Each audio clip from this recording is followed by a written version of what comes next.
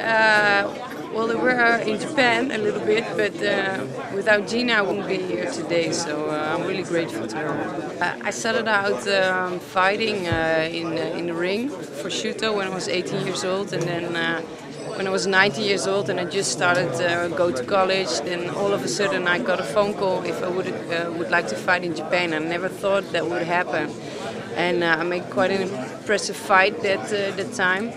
And then they asked me to come back the week after that, and I won a tournament. It was quite a big tournament, and uh, yeah, Japan is like uh, you cannot compare to anything. It's such an amazing country, and uh, the people are so.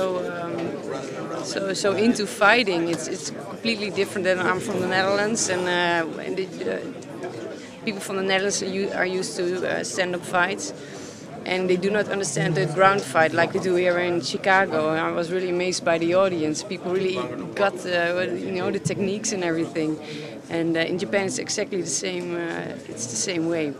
Well, uh, my trainer is Martijn de Jong, and uh, he's also the president of Shooto uh, Europe, and he is a former fighter himself, and uh, he's got also, if I'm correct, correct, I don't know for sure, he's, he's got the second degree in Jiu-Jitsu as well, and uh, I learned all the techniques from him, but he's also an amazing stand-up fighter and uh, that makes me quite complete. Well, I've got a four or five deal, so uh, um, I don't know for sure, but Scott, uh, if I'm correct, Scott is thinking about uh, uh, me and uh, Cyborg for Miami the 30th of January, so I hope that happens. It would be great.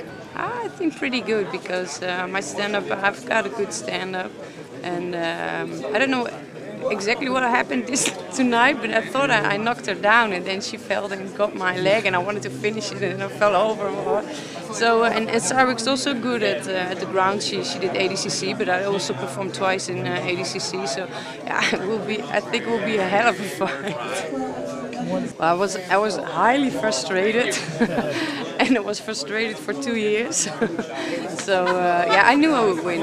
I never said it out loud before the fight, but uh, I was very confident, and I know why. I didn't lose the first fight. I made her tap in the cage, and long, to cut a long story short, uh, she did win, and I don't think you should complain afterwards because otherwise you have to knock someone out. But uh, I, I, was really confident this time, and I'm, I'm glad I'm, I finished in such a short uh, uh, time.